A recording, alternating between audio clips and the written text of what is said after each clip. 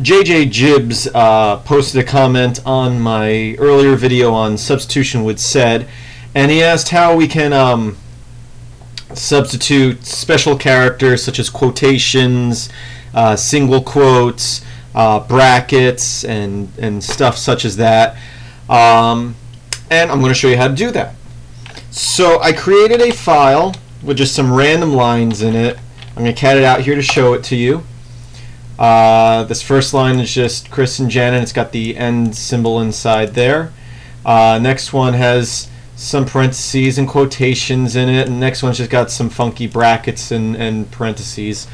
So uh, I'm just going to pipe that file into sed.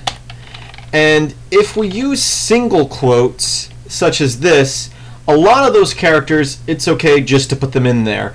So let's say we want to replace the quotes in this line.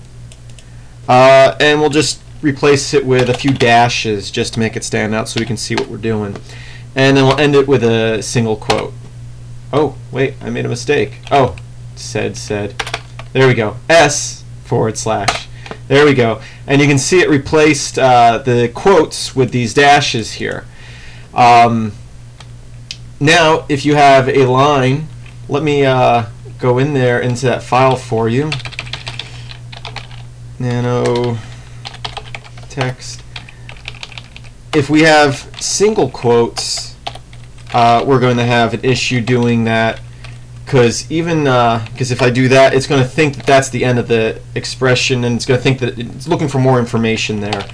Um, what we can do in that case with single quotes is we should be able to just put regular quotes, and you can see that it replaced those there. Um, so if you're using single quotes, use double quotes. If you're using double quotes, use single quotes. Um, most most of the time, you're going to use the single quotes because it's an exact reference of what's it, what you're putting in there. Um, the only time you really want to use double quotes, such as we did right here, is if you're replacing something with single quote or if you're replacing a variable. Um, other situations, uh, I'll give you an example here. If we want to replace the uh, square bracket, you're going to see that it doesn't work. It gives us a, an error right there. Uh, all you have to do is, with certain special characters like that, is just uh, use your backslash before it, and that's telling uh, Bash that uh, and sed that um, this character is not part of the command. We actually want you to replace that command, that character, or use that character in whatever we're doing. And if we do that, you'll see that it replaced that with a few dashes there. Um, so if if you put a special character into your sed command and you have the single quotes and it's still not accepting it, just use a backslash. And if you have more than one, you know, uh, here I'll give you an example. We'll go back into this file and uh, let's say we want to replace every word there. It's uh, bracket bracket like that.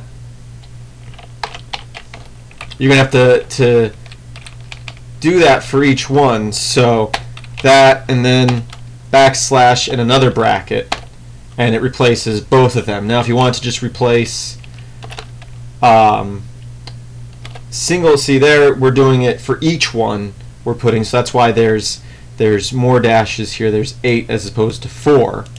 Uh, so it's still replacing each one, where up here we're replacing two in a row.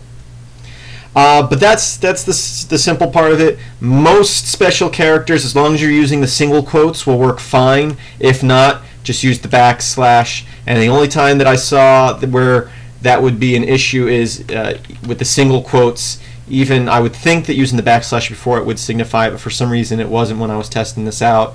So I would uh, just use double quotes in that situation. And if you're going to be using a variable in the command, you want to use double quotes. So I hope that answers your question, JJ Jibs. Uh, if not, post another comment and I'll try to answer your question. Uh, for more videos and tutorials like this, visit bashscripts.info uh, and have a great day.